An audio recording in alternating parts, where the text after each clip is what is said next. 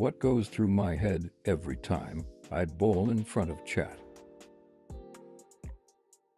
They keep your eyes on your target and hope the dear Lord wants you to have it. There it is.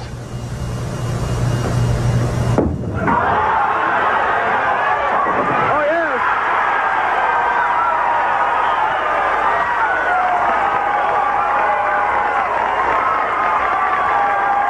yes! Thanks for watching. Make sure to join the Discord and subscribe to see more content like this.